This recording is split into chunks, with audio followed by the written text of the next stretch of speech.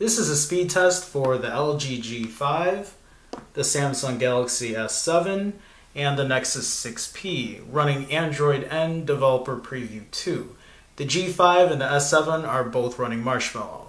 The G5 and S7 are both equipped with Snapdragon 820 processors and 4 gigs of RAM, while the 6P is running a Snapdragon 810 version 2.1 processor with 3 gigs of RAM. All phones have been factory reset, all phones are SIM free, and any phones that had micro SD cards in them were removed. Any apps that came from the factory stay as is. I didn't uninstall anything, I didn't disable anything.